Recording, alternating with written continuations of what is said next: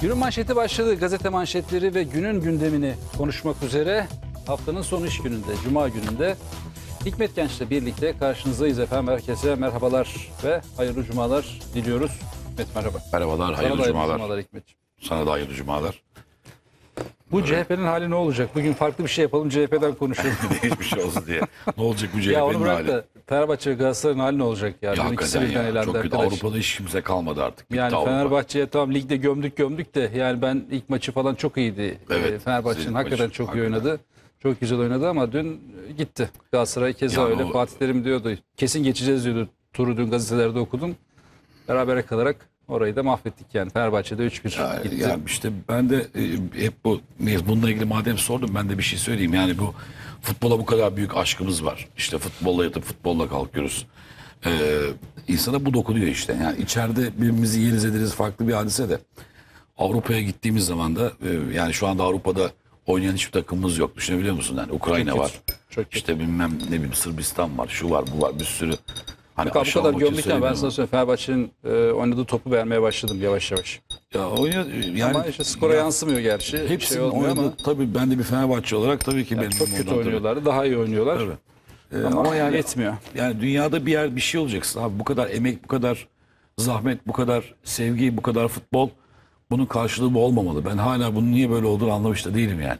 Altyapı, üst yapı bilmem ne yıllardır Şey konuşuyoruz. diyor ya yani Vazgeçtik yani en sonunda. Yani top yuvarlaktır. Bazen sevmeyince seni e, ay- önüne düşmüyor. Kenara geliyor. Direkten dönüyor. Şu oluyor bu oluyor falan olmayınca olmuyor bir türlü. Ama hani Ama ya top bizde yuvarlak. olmuyor da hani O bizim top Barcelona'da yuvarlak- niye oluyor falan diyorsun. bu Onların sefer topu da de. yuvarlak ama yani. Hepimizin Onların topu yuvarlak. Köşeli değil Ha, diyorsun. köşeli değil yani. Doğru Aa, o, hepimiz aynı şartlardayız o yüzden. Doğru söylüyorsun. Şunun şurasında kaldı. 37 gün ekranın sağ üst köşesine bakıyorum. Evet. Ee, 37 gün kaldı seçimlere. Ee, partiler ne yapıyor, ne açıklamaları yapıyor. Daha CHP kendi içerisinde e, bir orta yolu bulamamışken e, Rahmi Turan'ın ifadesiyle e, böyle zaman zaman falan hani tansiyonun Ufak yükseldiği, tefek ufak tefek tartışmaların olduğu Aile arasında. bir parti Olur. olurken valla Cumhur İttifakı Cumhurbaşkanı Erdoğan'ın liderliğinde bugün kaçıncı mitingini yaptı? 13. mü Bilmiyorum 15. da mi bayağı mitingini yani, yaptı. bayağı her gün İkişer günlerde. Maşallah bir açılış Hemen yapıyor, her gün miting açılış, yapıyor. işte iki, iki Maşallah. kom, e, bir- mitingde falan devam ediyor. Performans Fakat devam. e, hani anlatıyor yani burada bunu yapacağız diyor, Ankara'da şunu yapacağız diyor. İşte gittiği ilçe, illerde, ilçelerde dün Manisa'da e, müjdeleri verdi, Denizli'yi konuştu vesaire.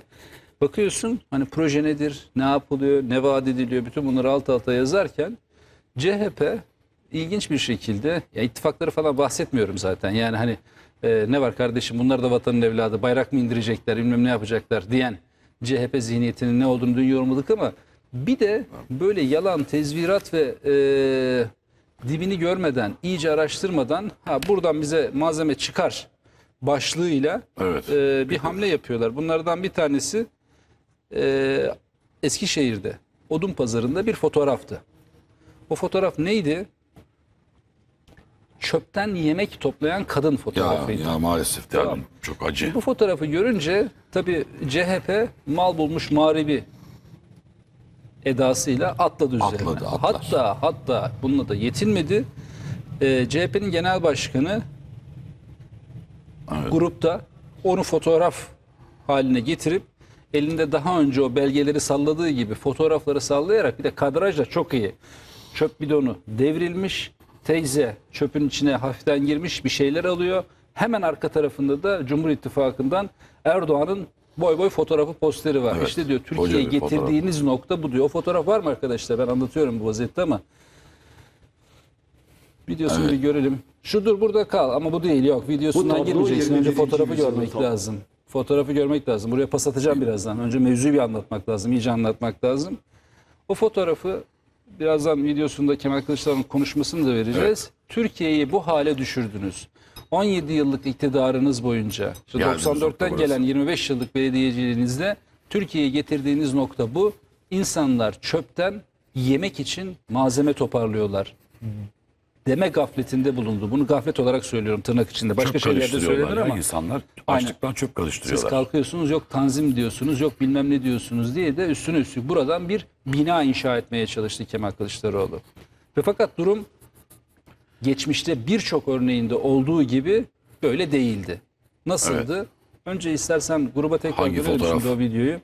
Kemal Kılıçdaroğlu'nun Fotoğraf, elini salladığı fotoğraf. fotoğrafla beraber bir ne dediğini anlatalım. Sonra Bu tablo 21. yüzyılın kadın tablosu. o fotoğrafın Bu tabloyu Fotoğrafta yer alan en açıklaması var. aktör de e, bu tabloda görülüyor. Erdoğan.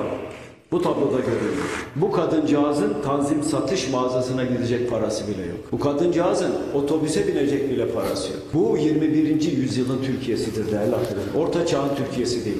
21. yüzyılın Türkiye'sidir. Siz bana sosyal devletten söz edeceksiniz. Hangi sosyal devlet? Devlet fakirin fukaranın yanında olacak. Hangi fakirin fukaranın yanında oldu? İşte duralım burada duralım bir saniye. Şimdi Şimdi bir şey için bir genel başkan için hakikaten yani gerçek olsa üzerine atlayabileceğin, propaganda yapabileceğin, bunun üzerinden laf söyleyebileceğin bir manzara. Tamam ama Çöp işte tenekesi devrilmiş. Tabii, arkasında Erdoğan'ın fotoğrafı. çöp tenekesi devrilmiş, Bir kadın, kadın çöp tenekeye yarım girmiş. alıyor. Arkasında Erdoğan'ın Çöpü fotoğrafı. karıştırıyor. Mizansen muhteşem. Evet. Muhteşem bir mizansen. Yani 21. oradan fotoğrafı yüzyıl. al. Buradan yürü yürüyebildiğin kadar. Tamam? Hiç şey yok. Biz ne yapıyoruz? 70'li yıllarda tüp kuyruğu, yağ kuyruğu, şeker kuyruğu, bilmem şu kuyruğu, kömür kuyruğu.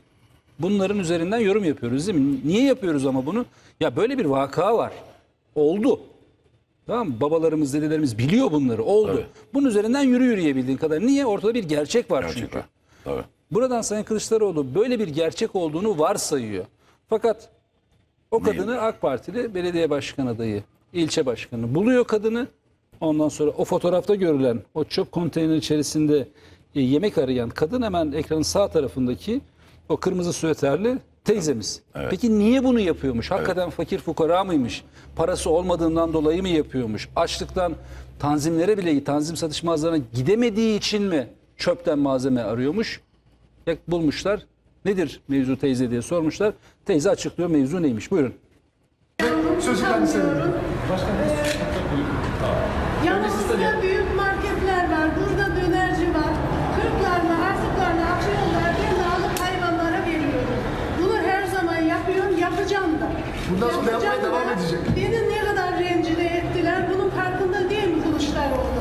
Gene bana bir soraydı, aşk mısın diye. Ben açık değilim. Benim maddi durumum gayet iyi. Benim dört katlı evim var, aylığım var. Allah'ıma çok şükürler olsun. Benim muhtaçlığım, ihtiyacım yok. Ve ben çok rencide oldum. Sonuna kadar da hakkımı arayacağım. Bunları görünce neler yaşadınız peki? Çok üzüldüm. İntiharı bile düşündüm dün. Yemin ederim balkondan atayım da bitsin dedim ya. Utandım. Niye sallıyor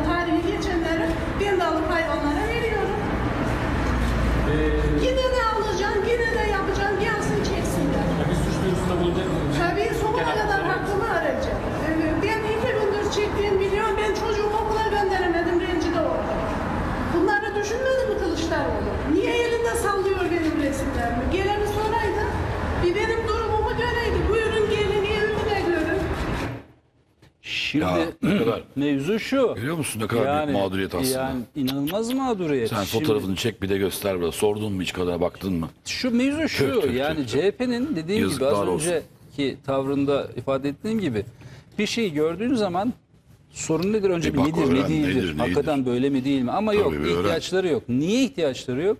Çünkü bütün söylemlerini, bütün hareketlerini yalan üzerine inşa ettikleri için Tabii. Gerek yok araştırmaya. Gerek yok. Ne Ne gerek? gerek var? Tabii. Fotoğraf var zaten. Tabii, bu. CHP seçmeni de yer. Tabii. Tamam mı? Ekseriyeti. Hepsini de söylemeyelim. Kayır ekseriyeti yer, Yer. fotoyu. Tabii. Bunu kullanır. Bununla bunun gerçek olduğunu zanneden sosyal medya üzerinde falan beğeni yapan, şunu yapan şu fotoğraf işte. Beğeni yapan, bununla ilgili ondan sonra bak Türkiye'nin haline diyen Oo, binlerce, milyon, on binlerce milyon, milyon. ondan sonra hakikaten Yüz gezi binlerce, zekalı var. tabii. Kimse dönüp de sormuyor etmiyor Çapulcu nedir işte. ne değildir falan Çapulcu diye. işte. E kadın çıktı. Niye yapıyormuş? O çöp konteynerinin Topluyor. etrafında diyor. Dönerciler var, büyük marketler Büyük var, market var, şunlar dönerci bunlar. var Çöplerini diyor, atıyorlar. topluyor. O etleri falan alıyorum. Ben Hayvanlara- hayvanlara veriyorum. Hayvanlar için topluyorum. Benim Helal ihtiyacım olsun yok. kadına da yani. Dört katlı evim var benim diyor. Çocuğumu okula gönderemedim diyor. Beni o bu hale soktu. Elinde kağıtla diyor. Şeyle diyor. Ondan sonra beni mecliste diyor. Rencide etti diyor. E şimdi bu kadının hakkında nasıl ödeyeceksin Demek ki mütedeyinler de hayvan seviyormuş. Bu arada Mansur Yavaş'a gönderme Ha, yapalım. evet tabii. Bak çöpü bile karıştırıp evi barkı olan Böyle işte böyle bir hanım, böyle bir kadıncağız diyor ya kendisi de. Bak geliyor e, evinden çıkıyor maaşım var diyor, evim var diyor, barkım var diyor. Demek böyle Müslüman e, ki görünür, göründüğü kadarıyla Mütedeyyin insanlar mütedeyyin bir hayvanları Anadolu, severmiş. e, hanımı böyle bir Anadolu ablamız, e, teyzemiz, ablamız, annemiz ne dersen de. Bak ben sana bundan Ama hayvanları da bu derece seviyormuş. Yani. Çöp, çöp sonra- karıştırıp çöpten e, efendim atık bulup onları e, harmanlayıp bir araya getirip oradan bir yal yapıp hayvanlara vermek de ciddi bir hayvan sevgisi de gerektirir. Herkesin yapamadığı şeyler Kemal bunlar. Kılıçdaroğlu'na Çok takdir bunu edilesi. ilk e, aylık Hürriyet röportajında veyahut da işte CNN Türk yayınında veya Fox TV yayınında sormak lazım. Sorarlar mı zannetmiyorum ama sorsalar bile Kemal Kılıçdaroğlu'nun vereceği muhtemel iki cevabı var. Bir, efendim yani tabii ki bu böyle fotoğraftaki kişi bunun durumu böyle olmayabilir ama yani bu bir örnektir. Türkiye'de bunun gibi bir sürü vardır diye cevap verir. yemezler, Bir yemez. ikincisi ya da şey diyecek, ikinci cevabı şu. Efendim bu böyledir. AK Parti'nin e, adamları gittiler kadına para verdiler. Kameraların karşısına çıkartıp böyle böyle konuşturttular Ya- der. İki tane cevap. Ya Başka üçüncü bir bence- cevabı yok. Bence bir halkta yiyemez. Kusura bakmasından bir şey de söyleyemez. Bu kadar çıktı bu kadar net kimliğiyle fotoğrafınla. Çocuğumu okula gönderemedim. Çok moralim bozuldu diyor.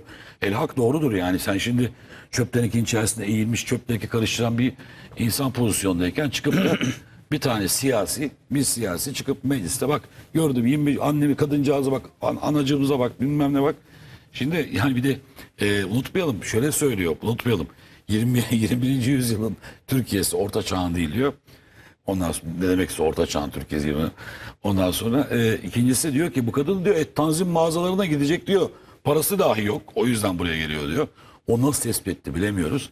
Üçüncüsü daha da enteresan diyor ki bunun diyor otobüse binecek parası yok diyor ya. O kadar Şimdi öğrenmiş. O ya, kadar da araştırmış. öğrenmiş yani. Şimdi bak bu niye bak bu arkasından ne derse nasıl kıvırırsa kıvırsın. Kıvırmaya çalışırsa çalışsın. Ama ortada bir gerçek var. Bir, Kılıçdaroğlu bu tür yalanları söylemeyi adet haline getirmiş kendine. Biz yalan söylüyorsun. Hani bazen arada bir Başkan Erdoğan diyor ki sabah başka akşam, akşam başka. Hep oradan kalan bir repliktir kafamızda. Sabah akşam akşam arada da çok fazla şeyler var. Yani sabah akşam bile e, o kaldırmıyor yani bunu. Bu, bu yanlış ya sabah akşam ifadesi. Fırsatını bulduğu her tarafta, her yerde ve her zaman. Bak ben söyleyince bazen millet bunu buraya buraya bağlayacak kadar bak. Bir insan profilini eğer ölçmek istiyorsan karakterini bazı şeyler vardır. Merdivenden yukarı aşağı falan da insan karakteri ölçülmez. Onun düştüğü durumlardır. Beceriksizliğidir. Veyahut oyunu atamamıştır. Beceriksizliğidir. Siyaseten siyasetsizliğidir. Falan filandır, şudur budur, bir sürü hikaye. Ama bazı şeyler vardır ki bir insanın gerçekten yalancı olduğunu ispatlar ve gösterir. Komik gibi geliyor ama bir şey vardır o unutmuyorum. Bir röportajında gazeteci de ona hani takım tutarken ben Fenerbahçeliyim. Lefter çok iyi bir kaleciydi. Ben de Lefter yüzünden Fenerbahçeli oldum dediği zaman adama şu ifadeyi kullanıyor. Adam diyor ki e, Lefter diyor galiba kaleci değildi yani. Lefter bir e, golcüydü. Yani kalede bulunmadı deyince bak çok önemli bir cevaptır bu. Bu karakter tahlili dahi bu işi bitirir. İnatçılık başka bir şey. Hani bazen zaman zaman hepimiz yaparız ya çocuk inadı. Ay, bana ne bana ne ben doğruyu söyledim. Bir şey çıktı ya ağzından. Ama bu başka bir şeydir. Ne dedi biliyor musun? Ona şunu demişti. Hiç unutmuyorum. Ya bir arada kalecilik yaptı galiba. Şimdi bak ben onu gördüğümde dedim ki ya bu nasıl bir karakter ya? Bir arada kalecilik yaptı galiba. Sonra Lefter o zaman hayattaydı. Ya ben hiç hayatta kaleye geçmedim ama geçseydim muhtemelen çok gol yerdim falan dedi. Şimdi bu bu kafa bu kafa böyle bir kafa. Bu ha bu bu zurnanın son deliği desem. Veyahut da yılanın artık dibi mi desem. Kuyruklu yılanın Türkiye'deki en büyük numunesi mi desem. Şimdi bu kadının tazimle gidecek olan parası yok. Bu kadıncağızın efendim e, otobüse binecek parası yok. Otobüse bile binemiyor bu kadın. E, nereden biliyorsun tanıyor musun? Yok bir fotoğraf yakaladık bilmem ne. Bu yeni bir şey değil ama olay o kadar çok artık açık ki. Kılıçdaroğlu yani bir de şuna, şuna bir itirazım var. Yani fotoğraf meselesi onu da, onu da söyleyeceğim. Ee, sen İsrail ile anlaştın da aslında el altından damadını gönderdin Berat oraya. Bey, Berat Bey söylüyordu. Şimdi mesela nerede gördün damadını gönderdiğini kim söyledi? Hangi uçak bileti var elinde?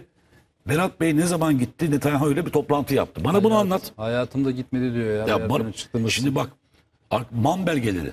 Bak şu anda ben önümüzdeki hafta elim belge açıklayacağım. Şöyle sallıyorsun şimdi. O belgeler nedir ne değildir? Şimdi buradan bakmak lazım. Kılıçdaroğlu'nun ortaya koyduğu her şey. Şimdi bunu yapacağım. Şimdi şunu açıklayacağım. Bilmem her şeyin içerisinde şu var. Araştırılmadan, soruşturulmadan sadece muhalefet edelim diye ortaya çıkacak olan her türlü kağıt, tezvirat, yalan, dolan, martaval, terane ne varsa hop ver eline de ki mesela şu anda e, işte bilmem e, bu ülkenin bir tarafında şöyle bir yangın çıktı 500 kişi öldü. Bak kağıt var elinde. Kardeşim bak biz duymadık. Kokusu yok, dumanı yok. Nereden buldun diye. Yani sorsan bilmiyorum abi bana verdiler. işte ben de gösterdim der. Aynen. Şimdi bu kadar kötü ki, o kadar kötü ki. Yani bu işinin neresini düzelteceksin bunun? Hani e, efendim mesela diyor ki bunu söylüyoruz. Birleşmiş Milletler toplantısında genel kurulunda Filistin'den bahsetmedin diyor mesela. Niye diyor korktun diyor Filistin'den bahsetmedin diyor. Ya hepi topu kaç dakikalık konuşma. Bir ben bunu söylerken ben bak bir daha bir daha tekrar tekrar söylüyorum. Kılıç amaç bir insanı alıp gömmek falan değil de bunu ben kendisi yapıyor bunu. Filistin'de hakkında konuşmuş fakat onu dinlememiş. Fakat onu kağıdına da koymuş. Ben bunu hep anlatıyorum Hikmet kendini tekrarlama falan. Ama ben tekrarlamıyorum adam tekrarlıyor. Kılıçdaroğlu sabah akşam kalkıyor yeni bir yalan uydurabiliyor. Bak yalan diyorum ya. Şimdi buna ben ne diyeceğim ben buna? Sen şimdi bak bu kadının tanzime gidecek şeyi yok. Bu kadının otobüse binecek parası da yok. Bu kadın bu hale düştü. Arkada zaten fotoğrafı var. Erdoğan böyle. Abicim ya insafınız kurusun ya. Vicdanınız yok mu ya? İnsafınız kurusun bu kadar böyle kötü bir siyaset olmaz ya. Sen koskoca grup toplantında bula bula fotoğrafla e, 31 Mart'a mı hazırlanıyorsun? Bu mudur? Ha şöyle bir şöyle bir itirazımı ortaya koyayım. Herkes diyor ya hani efendim e, kadının bu hali falan olup da gerçekten böyle bir şey olmuş olsa, gerçekten bu yaşanmış olsa, gerçekten bir kadın çöp karıştırıyor olmuş olsa, bunun siyaset olur mu? Vallahi bunun siyaset de olmaz. Ben siyaseten ben mesela siyasetçi olsam bunun üzerinden gitmem. Neden biliyor musun? Ya dünyanın her tarafında yani bak yeryüzünün kürenin her tarafında efendim siyasi rakibimi ben döveyim de bak şurada bir tane çöp karıştıran bir adam bulayım bir kadın bulayım fotoğrafını koyayım gitsin. Vallahi bak Kılıçdaroğlu'na söyleyeyim çöp karıştıran adam istiyorsan bak bir Moskova'ya gideceksin. iki New York'a gideceksin. Bak New York'a gideceksin. Dünyada sokak insanların sokakta yaşayıp da çöp karıştırıp bidonlarda odun yaktığı bir yerdir. Git hallerini 20. yüzyıl diye New York'a giydireceksin. Yani velev ki bak velev ki bunlar doğru olsun. Ama siyaset bu değil Murat. Yani bak e, hakikaten söylüyorum, insanın vicdanı kanıyor. Yani ben 30 Mart'a vizyon koyacağım, misyon koyacağım. Beni ben beni işte yarım asırdan fazladır bu millet bana oy vermiyor. Ben bu sefer oy alacağım. Acayip bir ittifak yaptım. Kandil de elimde, şu da elimde. işte milli görüşün tortları elimde. Şu herkes etrafımda koydum. Desteğim de tam. Kim o destek? İşte ne kadar gayrimilli unsur varsa herkes destekliyor. Bugün FETÖ de destekliyor bunları. FETÖ de konuşmasınlar boşuna. Bütün FETÖ'nün kaçak göçek lağım fareleri sürekli olarak ya sözcü paylaşıyor ya da Kılıçdaroğlu paylaşıyorlar. Pıtır pıtır paylaşıyorlar. Niye? Beklentileri var bunlardan. Bunlara bir sözleri var bunların. Şimdi bütün bütün siyaseti bırak. Bu kadar da büyük beklentin olsun. Hem Amerikan çocuklarından, Amerikan oğlanlarından diyeyim. Hem eee, işte sana görev veren o uluslararası konsorsiyumun sana vermiş olduğu görev diyeyim. Bunlarla bir şey paylaşmak üzere yola çıktın Kılıçdaroğlu. Ayıptır, yazıktır, günahtır. Bir daha sesleneyim.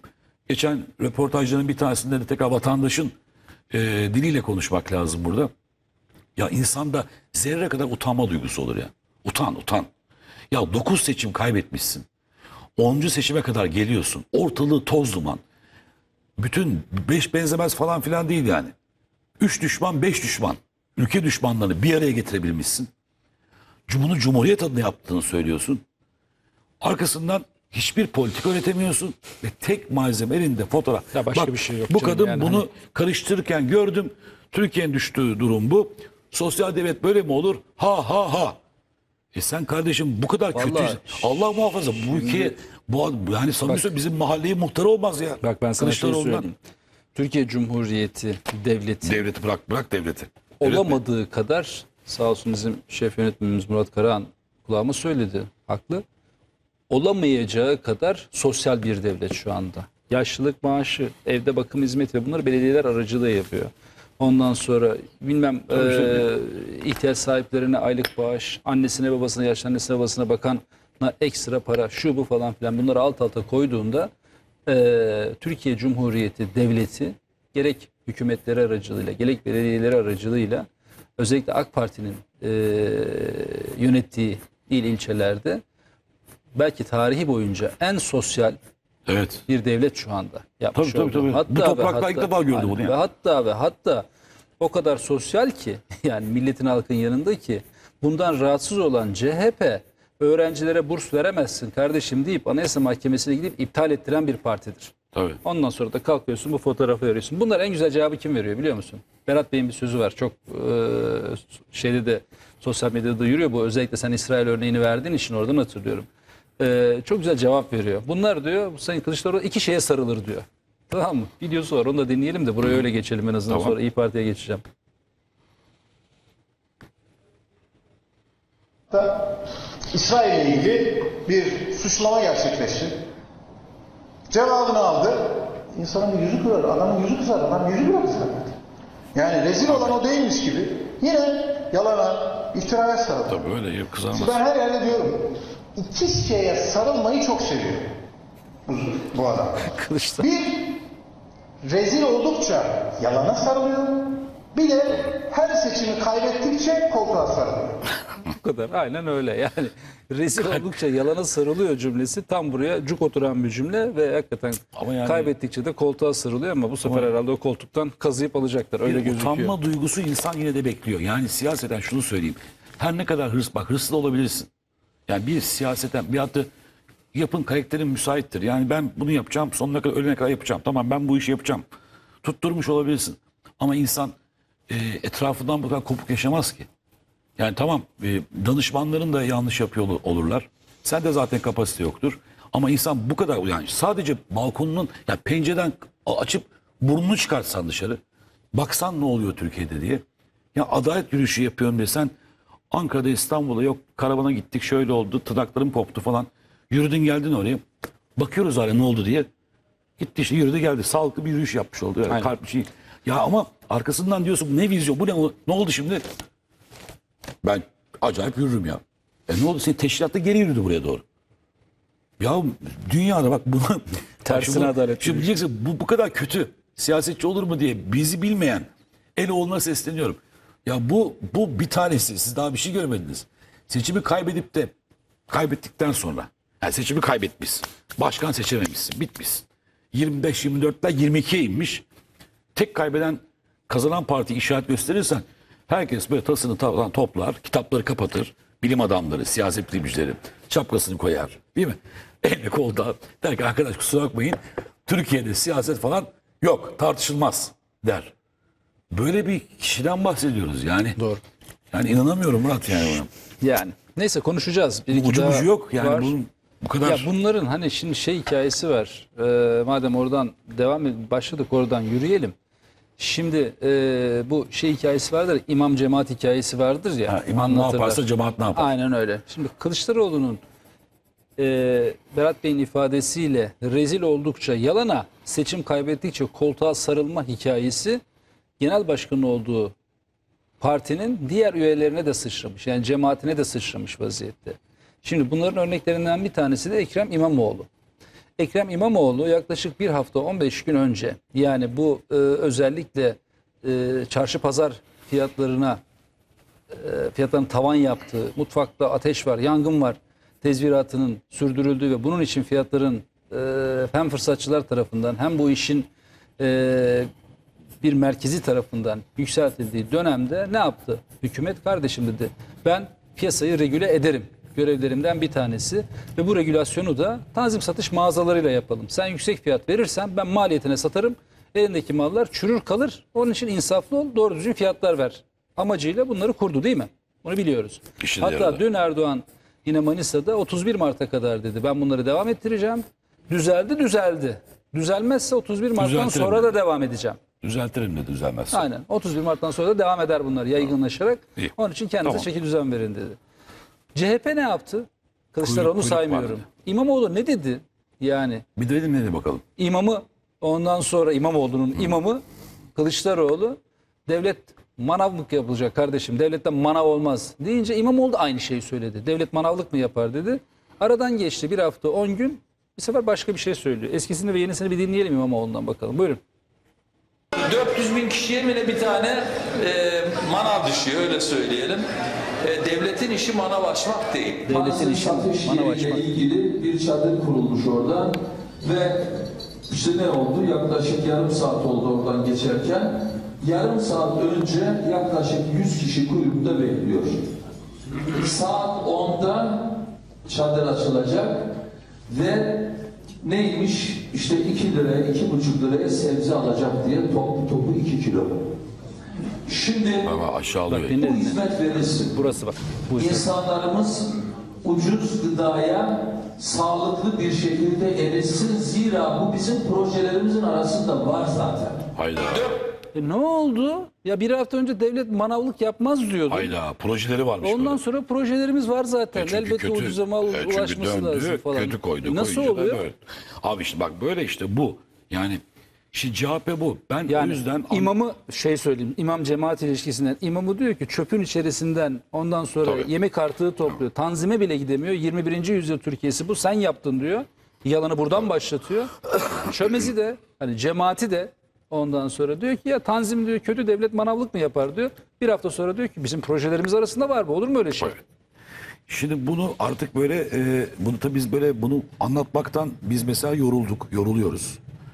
E, ama adam mesela bunu yapmaktan hiç yorulmuyor ve yüksülmüyor. Yani üzülmüyor, kafaya takmıyor, yorulmuyor.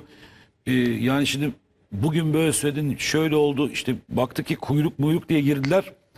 Baktılar ki bu toplumda gerçekten çok kabul gören bir proje. Kabul gördü yahu herkes gördü bunu. Ee, yani bunun CHP'lisi, AK Partilisi falan filan yok. Bunu herkes, bu vatandaşa açık olan bir şey. Baktılar ki çok güzel, doğru bir sosyal proje. Yani bu kadar kazıkçıya, fırsatçıya, ahlaksıza tokat gerekiyordu. Bastı tokadı devlet. Ya neden olmasın? Sen niye kimi aşağı diyor? Saat 10'da gelmişler baktım orada epi topu 2 kilo alacak da 2,5 liradan da. Allah Allah ya. Sosyal Demokrat Parti'ye bak.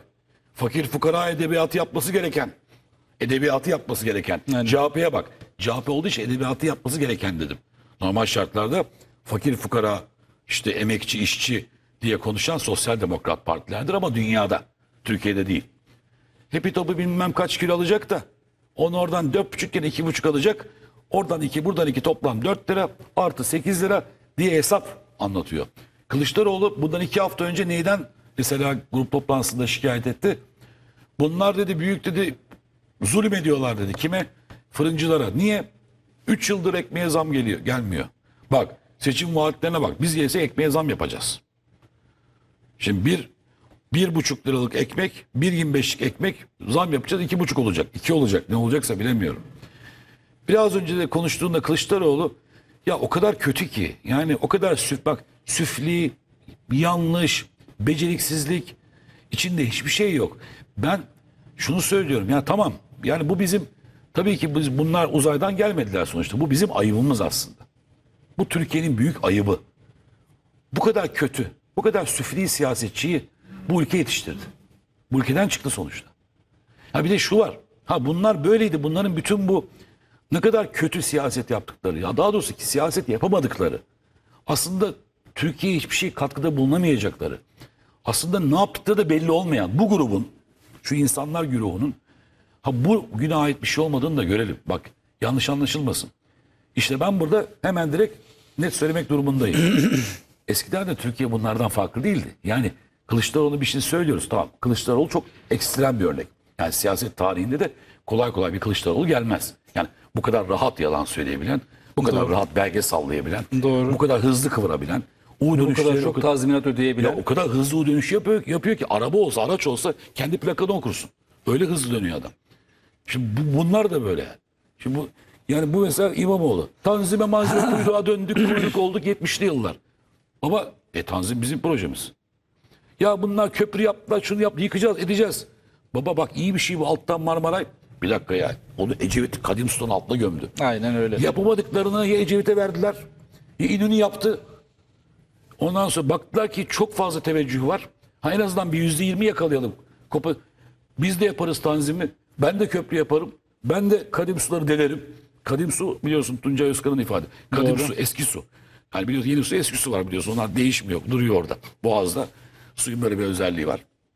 Şimdi bakıyorum da ya Allah rızası için ben bunu dün e, dün artık böyle vicdanlara seslenici bir tarzda eleştirel yaklaşım ediyorum. Yani vicdanlarla ilgili konuşmak lazım artık bu saatten sonra. Aklın yolu bir. Partisini Kandil'e peşkeş çeken. Çok açık söylüyorum. Kandil'e. Partisini FETÖ'cü, işte örgütçü, şucu bucu, Amerikancı, NATO Türkçü, bilmem neci hiç ayırt etmeden. Yani örgüt ayırt etmeden. Yeter ki şunlar da gelsin 3-5 de şuradan kazanalım diyecek kadar süfli bir siyasete gelmiş karşımıza bir CHP var.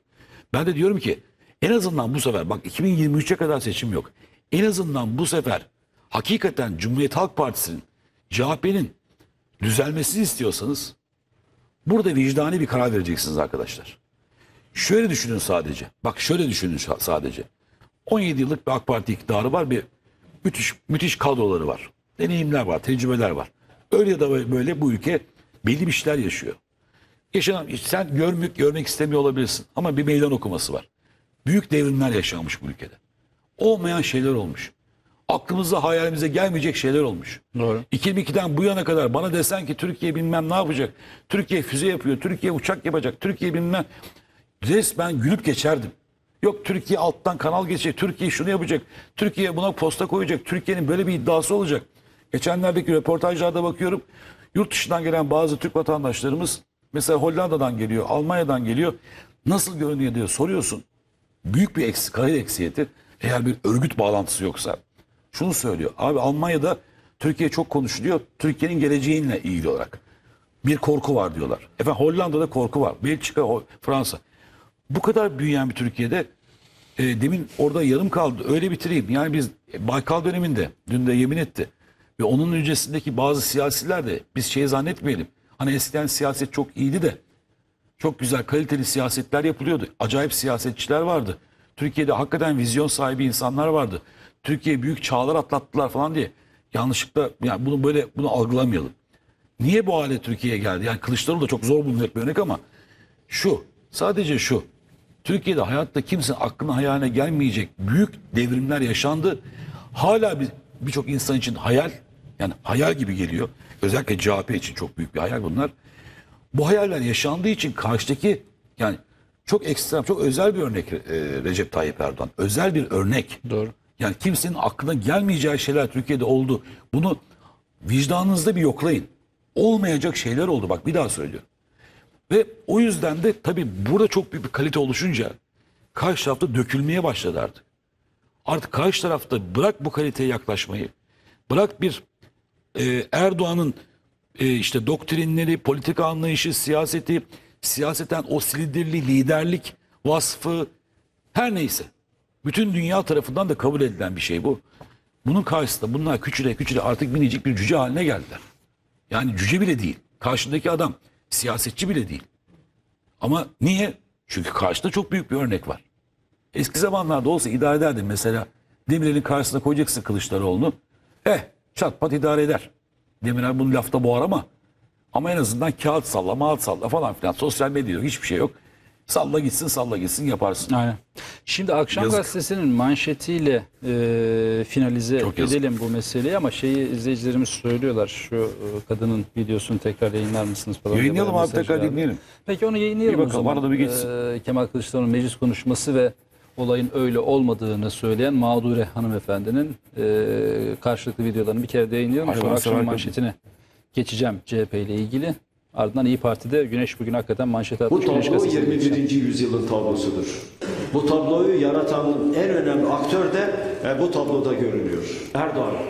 Bu tabloda görünüyor. Bu kadıncağızın tanzim satış mağazasına gidecek parası bile yok. Bu kadıncağızın otobüse binecek bile parası yok. Bu 21. yüzyılın Milletvekillerinden beşer bin lira daha topla da kadına ver o zaman. 21. yüzyılın Türkiye'sidir. Siz bana sosyal devletten söz edeceksiniz. Hangi sosyal devlet?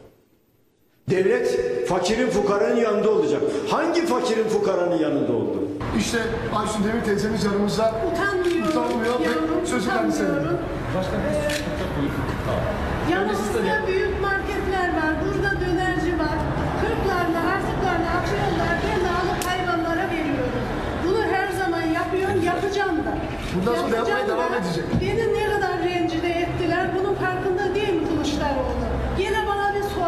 Mısın diye. Ben açık değilim. Benim maddi durumum gayet iyi. Benim dört katlı evim var. Aylığım var. Allah'ıma çok şükürler olsun. Benim muhtaçlığım, ihtiyacım yok. Ve ben çok rencide oldum. Sonuna kadar da hakkımı arayacağım. Bunları görünce neler yaşadınız peki? Çok üzüldüm, intiharı bile düşündüm dün. Yemin ederim balkondan atayım da bitsin dedim ya. Utandım, niye sallıyor böyle? Biliyorum benim ihtiyaç sahibi olduğumu. Niye Benim sormuyor, eşimin niye ailem araştırmıyor? var. Benim dört tane evim var. Ben ihtiyaç sahibi değil, ben hayvanlara veriyorum. Burada dönerci var, görün. Burada büyük marketler var, her şeyi atıyorlar, tarihi geçenleri. Ben de alıp hayvanlara veriyorum. Yine de alacağım, yine de yapacağım, gelsin çeksinler. Ya bir suç duyurusunda bulunacak mısınız? Tabii sonuna Genel kadar kurulu. hakkımı arayacağım. Ee, Ben iki gündür çektiğim biliyorum. Ben çocuğumu okula gönderemedim rencide oldum. Bunları düşünmedi mi Kılıçdaroğlu? Niye elinde sallıyor benim resimlerimi? Gele bir soraydı. Bir benim durumumu göreydi. Buyurun gelin evimi de görün. Durum bu. Valla çok net. Talkını kendi yutar salkımı diye bir söz var. Akşam gazetesi bu atasözünü e, nazire yaparcasına manşet atmış. Aile meclisi diye aile e, meclisi. çıkmış bugün akşam gazetesi. Mevzu da şu değerli izleyiciler. Tabii bu dediğim gibi yani bazı insanlar için şöyle bir cümle kullanırız değil mi? Yani hani ya bunun a- Allah bir dediğinden başka bir şeyine inanmamak lazım e, diye. Sayın Kılıçdaroğlu'nu da hakikaten bu kategoriye koymakta fayda var. Çünkü ne söylerse söylesin e, en nihayetinde çok öyle yatsıya kadar da beklemeden yalanı ortaya çıkıyor veya söylemiş olduğu söz kendisini bağlamıyor bir şekilde nasıl oluyorsa. Akşam gazetesi buradan yola çıkarak bir araştırma yapmış. E, tebrik etmek lazım Ercan Öztürk'ün haberi. Kılıçdaroğlu diyor listelerdeki akrabaları bulup ayıklayın diye genelge yayınlıyor parti teşkilatına. Oysa diyor CHP'nin meclis üyesi listeleri kendisi ve kurmaylarının eş, dost, akrabalarıyla dolu demiş. Peki neymiş bunlar? Mesela Kılıçdaroğlu'nun eşi Selvi Kılıçdaroğlu'nun yeğeni Müslüm Tekin Çankaya 3. sıradan adaymış. Belediye meclis üyesi. Ha, bak bak bak. Genel Başkan Yardımcısı Oğuz Kağan Salıcı'nın akrabası Zeynel Yılmaz Bağcılar birinci sıradan belediye meclis üyesi adayıymış. İstanbul İl Başkanı Canan Kaftancıoğlu'nun kliniğin müdürü Özgür Tatar o da yine Bağcılar'dan adaymış.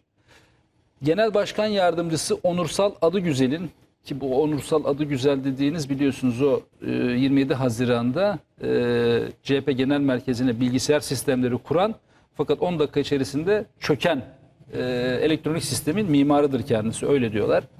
Bunun dayısı Erol Şahin avcılardan listeye girmiş. Bir diğer bir diğer genel başkan yardımcısı Seyit Torun ki bu Seyit Torun'un ismi de biliyorsunuz Şanlıurfa'daki o Bucağan belediye başkanı adayı olmasıyla ilgili çok geçmişti. Seyit Torun'un amcaoğlu Sami Torun Ordu, Altın Ordu'da belediye meclis üyesi olarak ikinci sırada yer alıyormuş. Tekin Bingöl'ün kuzeni Kadıköy'den, Aykut Erdoğdu'nun şoförü Şişli'den, Orhan Sarabal'ın akrabası da Bursa'dan aday yapmışlar. Ama tabii ki bunlar eee, halk CHP'ye, bir halk ve vatandaş ayrımı var ya hani halk geldi vatandaş denize giremedi hesabı. Halk dediği isimler nin akrabalarını bulup ayıklayın diyor. Ama vatandaşın akrabaları onlar vatandaş. Onları ayıklamaya gerek yok. Başta Kemal Kılıçdaroğlu olmak üzere Akşam Gazetesi. CHP'yi bitirelim. Aile CHP'den meclisi e, hayırlı uğurlu olsun. Yani böyle Aynen öyle. öyle ya yaptı, böyle akşam yaptı. bunu- manşetler okuyor. Bir önceki şey de Dallas biliyorsunuz, dünkü Aynen, manşet. evet, evet. Bugün de hakikaten aile meclisi olmuş. CHP'yi butik bir aile partisine falan çevirdi. Ondan sonra Kemal Kılıçdaroğlu Bak, bu da örnekleriyle yani bir şey, bir şey söyleyeyim ya farkında mısın? Yalnız mesela bir programı yapıyoruz. Bu, kaç yılın programı bu. Ne enteresandır ki tam seçimden önce şey oluyor Murat ya. Mesela biz çoğunlukla CHP'yi konuşuyoruz. Millet de diyor ki mesela mesajlara falan baktığımda sen birkaç dakika böyle bir çok hızlı geliyor çünkü sağ olsunlar takip edenler Allah razı olsun hepsinden. Yani ne yapıyor ediyor CHP? Kendisinden bahsettirecek bir şeyler yapıyor. Bunlar da yanlış bak. Geçenlerde bunu e, en son seçimlerde bizzat Kılıçdaroğlu söyledi. Bizzat kendisi söyledi. Ne güzel işte hep bizden bahsediyor falan. Sana diyor ki rek- reklamın iyisi kötüsü olmaz. Yani öyle öyle bir algısı mı acaba bilemiyorum. Yani hani derler ya reklamın kötüsü olmaz falan diye. Arkadaş yani peki reklam olsun diye de bu kadar yalan söylenmez ya. Hani bari gündeme geleyim diye bu kadar palavra sıkmanın da manası yok ya. Ya sabah akşam kalkıp da acaba bugün hangi yalan çünkü ya, yalan da kalmadı bir de. Ya yalanın da hani sonu olmaz diyorlar ama o kadar fazla söyledi ki bu onu dahi tüketti. Yani yalanın her parçasından bir şey elinde olduğu için belge sallamak, iftira atmak, gitmeyen bir adamı gitti gibi göstermek. Ondan sonra okumadığı, bilmediği bir şey hakkında tezviratta bulunmak. Hiç anlamadığı şeyler hakkında yorumlar yapmak. Ayetlerle kunut duasını karıştırmak. Yani adamın hayatında e, ma- maddi, manevi ne varsa söylemeyecek yalanlar bu 10 yıldan beri bunu yapıyor bu adam. Ve arkasından diyor ki hani çok hakikaten yorumları görünce inanamıyorum. Şunu söylüyor. Bak işte CHP hakkında konuşuyor. Biz ya konuşsanız iktidarı. Arkadaş ne yapıyorsun ne diyorsun bu kadar çok yalan söylüyorsun ki. Yani en sonunda biliyorsun daha önce e, 24 Haziran'da da bu bunu gördük. Esip gürlemeler efendim biz seçim akşamı şöyle yapacağız 30 bin tane adamı yığacağız. Ya bir şey söyleyeyim mi? Yani CHP'nin hakikaten bu seçimlerde nasıl beklentisi var bilemiyorum. Ama bu kadar kendi partisinde bu kadar karıştıran, kendi partisinde bu kadar mukayyet olamayan, hadi partiye mukayyet olamamayı Kendi bırak. partisine derken Artık kimin partisi olduğu da belli değil değil mi? Yani CHP'ye bu kadar mukayyet olamayan öyle diyelim. bir adam. Şimdi düşünüyorum da ya ülke yönetimini Allah ya insan bazen ya karşı olmakla alakası yok bunun.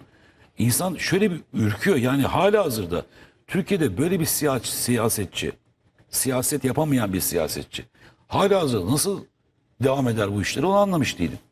Hani 9, 10, 11, 15 bunun limiti yok mu baba yani 20'den sonra mı bırakacaksın bu işleri? 35'ten sonra mı bırakacaksın? Kaçta bırakacaksın? Onu anlamış değilim. Hadi bıraktın bırakmadın senin tasarrufun. Seçmenin sana diyor ki 100 135 yaşına kadar devam et. Olabilir. Belki sana 150'ye kadar yol vermiştir. Ama şunu bize söyle ya. Yani bir e, yalan, tezvirat, martaval, çamur atma. Yani siyasetin dışındaki her türlü ayak oyunu. Sandık dışı her türlü e, garabet ve her türlü abesle yapılan siyasette ne umuyorsunuz yani? Yani ne bekliyorsun yani buradan? Ya Seçmen şey- de bekliyor. Ya bir şey. Ya buradaki şey şu var. Ha, bana- bana proje anlatmıyor bunların adam, kağıt sallıyor ya. ama iktidar olmak gibi dertleri yok ki yani. Bunların derdi Abi muhalefette zaten kalmak. olamaz bu saatten Yani. sonra olacak halde yok ama yani DSP geliyor. Alternatif parti olarak orayı bir şekilde valla gel, şey gelsin isterim koyarlarsa, yani. Hakikaten e, CHP gelsinler. diye sadece mezhepsel Kemal Kılıçdaroğlu'nun aile meclisinin oluşturduğu bir parti olarak kalacak kalmaya da Evet. mahkum olacak yani öyle gözüküyor. Yok ben bu kadar yani ilk defa bu Star kadar Gazetesi- açık görmedim abi. Star Gazetesi'nin manşeti İyi Parti ile ilgili bir haberi almış. Biliyorsun bu Mersin'den Burhanettin Kocamaz e, ismi O hikayesine 26 döndü. dakika geç verilmişti. O da partiden istifa edip Demokrat Parti'ye geçmiş. Demokrat Parti adayı olacaktı. Fakat Star Gazetesi diyor ki Demokrat Parti'den de aday olamaz. Niye? 2004 yılında YSK zamanında teslim edilmeyen parti listesinde adı olanlar başka partiden aday olamaz kararıyla Hülle adaya geçit vermediği ortaya çıkmış. 2004'te böyle bir karar var. Dolayısıyla e, Burhanettin Kocamaz'ın da aday olamama ihtimali var. Şimdi bu bilgiyi aldık, koyduk bir kenara. Komedi bunlar ya. Niye geliyorum ama bu bilgiyi niye söyledim? Bugün hakikaten manşeti güneş atmış. Çünkü bu işin arkasında kim var kardeşim? Çünkü bu bir ihmal değil ondan sonra. Bu bir ihanet demişti Meral Akşener. Evet, Peki çıkarttı o da sallıyor. Güneş işte. Gazetesi Hepsi ihanetin adının daha doğrusu bu hainlik yapanın Koray Aydın olduğunu ifade ediyor. Aman aman aman. Evet Güneş Gazetesi Oy, oy, oy, oy, hakikaten çünkü eski defterler açılmış. O eski defterlerin e, bir tanesi Koray Aydın'ın 2018 seçimlerindeki afişini gösteriyor. Koray Aydın'ın istifasını istedi manşetiyle çıkmış. O da şu mevzu. Akşener hainin kim olduğunu açıklama görevini kendisine en yakın isimlerden İstanbul Milletvekili Ahmet Çelik'e verdi diyor Güneş Gazetesi. Koray Aydın'ın 24 Haziran seçimlerindeki afişini sosyal medya hesabından paylaşan Çelik ağır ifadeler kullanmış. Aydın için kibirli, kompleksi, saygısız ve kumpasçı diyor. Ee, İyi Parti İstanbul Milletvekili Ahmet Çelik e, Yeni Çağ gazetesini devreye sokuyor. Sahibi olduğu Yeni Çağ gazetesini devreye sokarak Orhan Uğurluoğlu Akşener'in mesajını açık şekilde kaleme alıp ihanetten Koray Aydın'ın sorumlu olduğunu ifade ediyor ve derhal istifa etmelidir diyor. e, FETÖ tarafından destekleniyor dediği Akşener'le birlikte İyi Parti'yi kuran ve teşkilatlanmadan sorumlu Genel Başkan Yardımcılığını üstlenen Koray Aydın, Mersin adayı Burhanettin Kocamaz'ın evrakını kasten geciktirerek partiye ihanet etmekle suçlandı.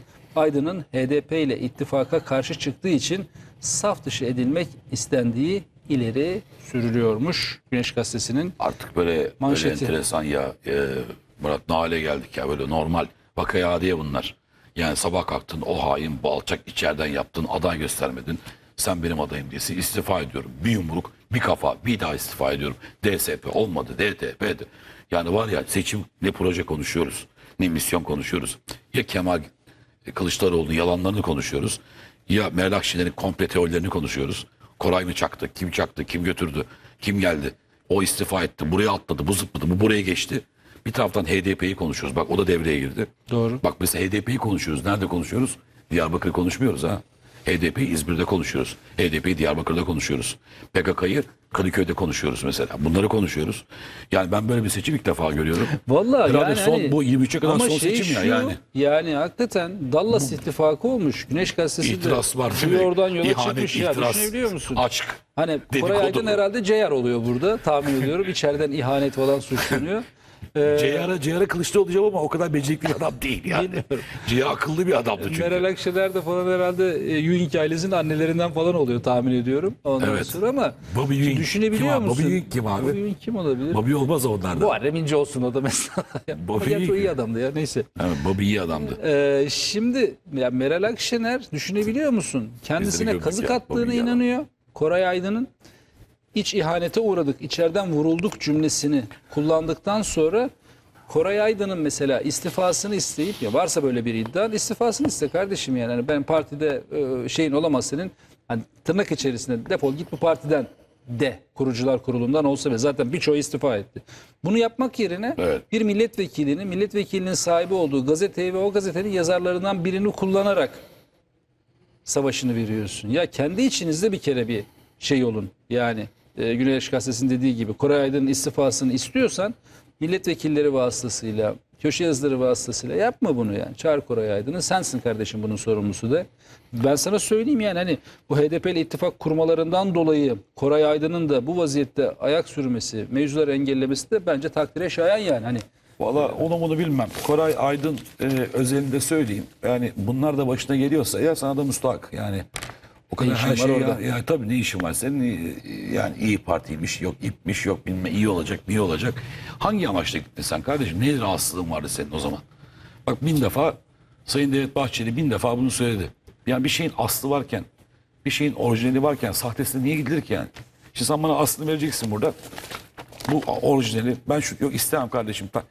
Ya Koray Aydın'la aynı, aynı şekilde yani bunları bunları bekleyeceksin. Bak bunlar dediğim gibi demin aslında biraz tabii biraz daha mizahi anlattık ama aslında çok işler acısı bir durum var karşımızda.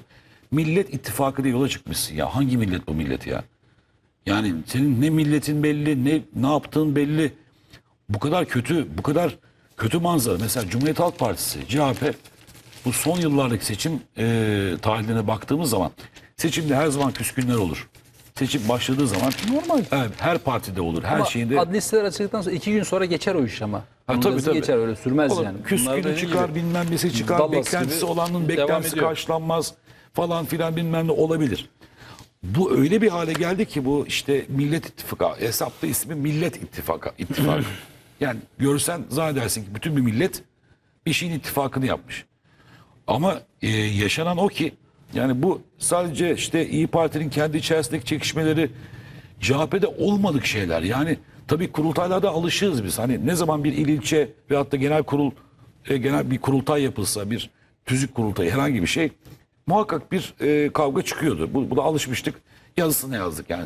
Yumruk yumruğa kavga ediyorsun. Kim kazanırsa o kurultayda kazanıyor falan diye. Bu kadar da fazla. Hakikaten CHP kurultay diye gir. Ha bunları şifayen söylüyoruz ama çok basit bir şey var. Eski, eskisi gibi değil artık. Google'a giriyorsun CHP kurultay ve kavga ediyorsun. Sana 1 milyon 706 bin 542 tane madde koyuyor. Vaktin varsa birkaç hafta boyunca uğraş çıkart. Ee, kitabını yazarsın cilt cilt. O kadar kavga var.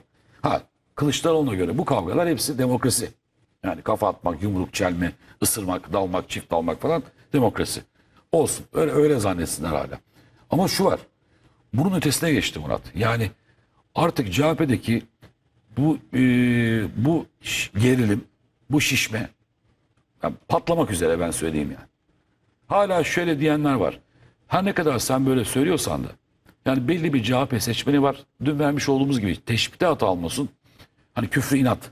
Ya çok beğenmiyorum. Bizim partiden de bir halt olmaz ama ben gene de şunun altına vereyim diyen tiplerin dışında e, çok ciddi bir gerginlik var ve bütün bu gerginliğin sonucunda da e, karşımıza gelen bu.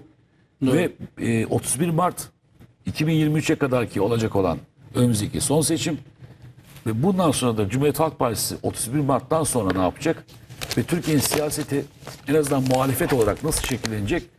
Onun biraz da göstergesi bu. Demek ki muhalefet dediğin ekip işte bunun içerisinde bütün bu e, sözde Millet İttifakı diye ortaya koydukları garip, alacılı bulacılı demiyorum artık. Yani inanılmaz düşmanlık içeren ve asla da siyaset yapmak değil sadece muhalefet olsun da işte fotoğraf göster, şunu yap, küfret, bağır, çağır, söv.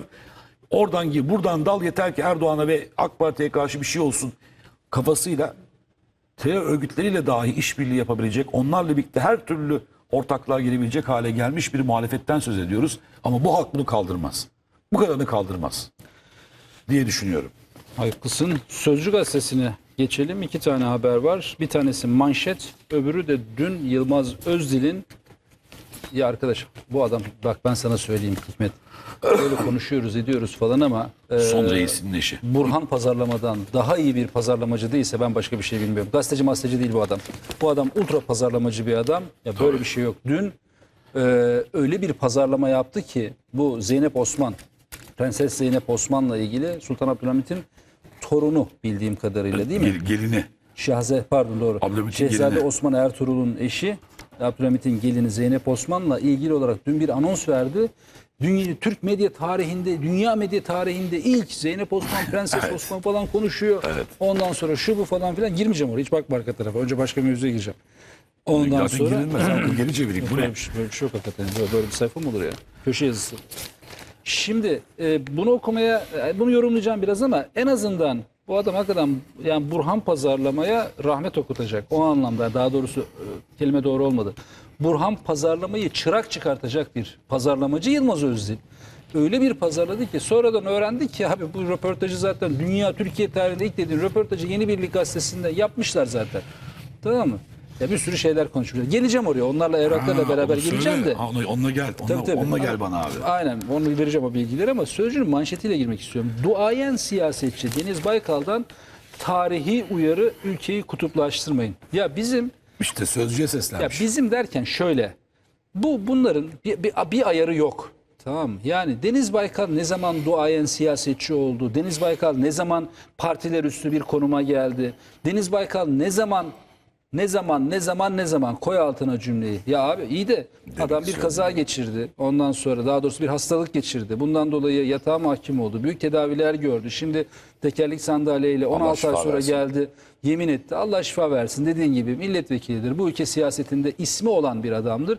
İyi de nereden hani böyle bütün partiler üstü bir konuma geldi? Daha kendisine kurulan kaset kumpasıyla ilgili olarak Kur'anlar aleyhine bir cümle sarf edememiş bir adamdır.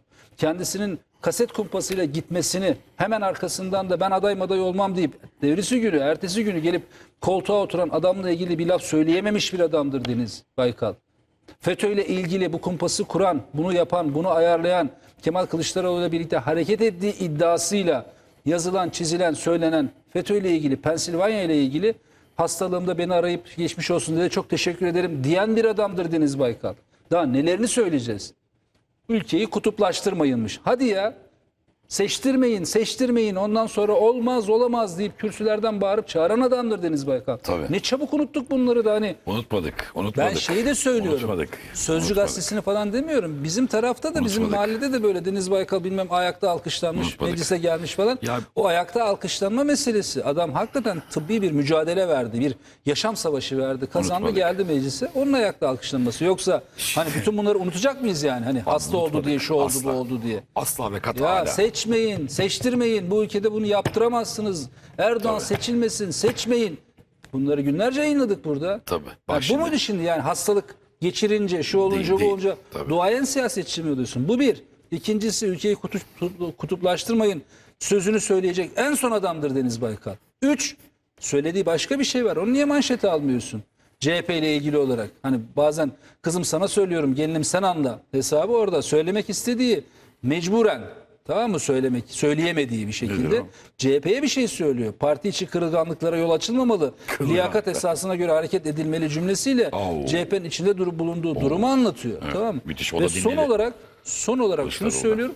Bütün bunlara rağmen bak bütün bu söylediğim aleyhte cümlelere rağmen 1 milyon tane Kılıçdaroğlu gelsin bir tane Deniz Baykal etmez. Niye?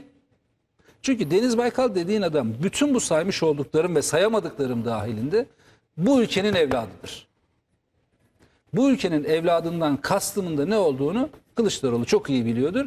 Çünkü ne olursa olsun ülkeyi yangın yerine çevirecek, CHP'yi elinden alıp bir yerlere teslim etmeye direndiği için bunların başına geldiğini de biliyoruz ayrıyetten. Evet. Tüm yanlışlarına, tüm siyaseten hatalarına, tüm ondan sonra laiklik ve vesayet arkasına sığınarak yapmış olduğu siyasete rağmen bu ülkenin evladıdır. Partisini, yönettiği partiyi bütün zorlamalarına, şunlarına, bunlarına rağmen başka odaklara teslim etmedi. Onun üzerine bir kaset kumpasıyla ondan sonra özel hayatı delik deşik edildi. Ondan sonra yanlışları ortaya çıkartılarak e, partisinden istifa etmesi sağlandı ve Kemal Kılıçdaroğlu yerine oturtuldu. Evet. Bunu söyleyeyim. e, benim söylemek istediğim şeylerin bir kısmını söyledin o yüzden çok fazla bir şey katamayacağım ama şöyle söylemek durumundayız. Ben Baykal'la ilgili çok yazı yazdım. O zaman da Baykal'la ilgili bayağı meseleler vardı. E, ama şu şunu söylemek lazım. Tabii duayen siyasetçi der kaç yıl oldu? Belki de 40 yılın üzerine geçmiştir. Yani ben çocuktum. Ben Baykal vekil oldu. E, büyüdük, yaşlandık. E, ondan sonra hala gelip en son haliyle diyorum bir daha söyleyelim o başka bir hadise tabii sağlık meselesi. Allah şifasını versin. E, çok çok geçmiş olsun diliyorum. Tekrar bunu söyleyerek cümleye başlayalım. Ama şöyle bir şey var. Hani biraz önce söylediğimle aslında teyit eden bir şey söylemiş oldum.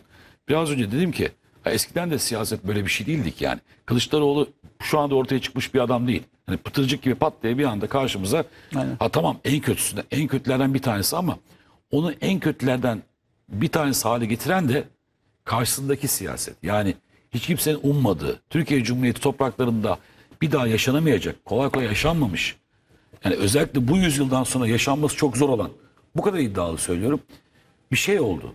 E tabi bu kadar büyüklük karşısında da bir vaka gerçek. Ne yapayım abi yani bunu bunu yalan mı söyleyelim yani? Bunu sak bunun ucunu mu kapatmaya çalışalım? Abartmayalım. Abartmıyorum ki. Oldu bunlar oldu oldu oldu. Oldu. Ben bu ülkede 95'ten sonra çıktım. Yıllarca yurt dışında yaşadım. E gel- geldim baktım Türkiye farklı bir ülke olmuş. Tabii gidip geliyorduk, görüyorduk ama yani aklımın hayal yani Avrupa'daki herhangi bir gazetede, Avrupa'daki, Orta Doğu'daki herhangi bir gazetede, Türkiye'de köşesinden işte Middle East bilmem ne news şuradan bir cümle geçti mi mutlu olduğumuz zamanlardı o zaman. Tek bir cümle ama. O da ne? IMF'den borç para aldık. Şu kadar borcumuz aldı. Turkish ekonomi bilmem bilmem bilmem bilmem de bu kadar gitmiştir. Şöyle oldu böyle oldu. Son arkasından o gazetelerin bir tanesinde bak bunu anlatmak zorundayım. Çünkü bunu Baykal nedir, siyasetçi nedir anlamaları açısından. Ha hala bunları yaşayıp da onca yaşa gelmiş bir sürü dinozor zihniyetli adamlar da anlamamaya çalışır ama lütfen bunu da gözünüze sokuyorum anlayın. Efendim eee, baktık baktık yıllarca haber yok. Yine 28 Şubat sürecinde gidip geliyor. Bir bakıyorsun ilk defa bazı gazetelerin dünya basınındaki bazı gazetelerin manşetinde Türkiye var. Of diyorsun be Türkiye'den bahsediyor. Türkiye'den bahsedilirken Türkiye'deki başbakanın ismini bilmeyen yabancılar İsmail Hakkı Karadayı'nın ismini biliyorlardı.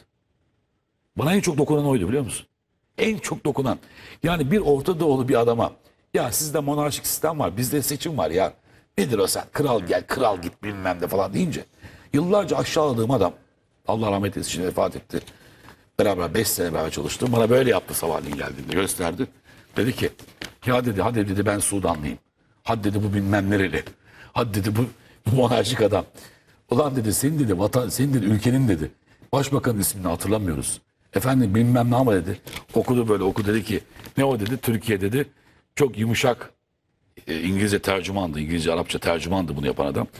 Çok yumuşak postal gelmiş tercüme ediyor. Ondan sonra e, Türk Türklerin laik şey depreşmiş yani laik ve seküler e, refleksi e, devreye girmiş. E, ne olmuş? İşte hükümet istifa etmiş. Bak diyor kimi tanıyor Türkiye'den dedi. Bana şunu okudu. İsmail Hakkı Karadayı. Böyle okuyor. tamam mı? Aldı böyle gazeteyi. Kağıt yönüme attı gitti. Şimdi, şimdi bunları yaşamadıktan sonra Türkiye gerçeğini göremez. Bu salaklara, bu geri zekalılara bunu anlatmaya çalışıyoruz. Bunlar kim dediğimi geri- bilmiyorum abi. Bunları anlatmaya çalışıyoruz. Şu. İlk defa Türkiye'de Erdoğan'dan sonra e, bir konferansta başıma geldi. Ne kadar değiştik ki? Ne oldu değişen? Tek bir cümleye soru sordum. Dedim ki e, şu anda yeni, yeni gelmişti o zaman Hulusi Akar. Yeni Genelkurmay Başkanı olmuş. Bir haftalık 10 günlük falan. Şu anda hiç kimse bakmasın Google'a Google'a falan. E, Genelkurmay Başkanımızın ismi nedir bilen var mı diye, diye sordum. 500 kişi var salonda. 3-5-6 tanesi kaldı. Herkes birbirine bakıyor. Ha dedim bak. Türkiye buraya geldi. Ama bundan 10 sene önce sorsaydım Baş, başbakan başkan, ikinci bilmezdiniz başkan, yani. bilmem şunu bunu Bilmezdiniz çünkü. Aynen öyle. Şimdi Baykal derken lütfen Allah aşkına bunu an, bak hani hani ta, şey dönemine gitmiyorum. Minönü'ye gitmiyorum bak. Yaklaştım geldim 2007'ye geldim. AK Parti'ye 2008'den sonra kapatma davası açıldığında asla affetmeyeceğim bir Baykal vardır. Şu duayen, duayen, sözcü, duayen şu cümleyi kurmuştur. Bak bunu Google'dan bakabilirsiniz vaktiniz var. Şeriatın kestiği parmak acımaz. Şeriatın kestiği parmak. Parti kapatılacaksa kapatılacaktır.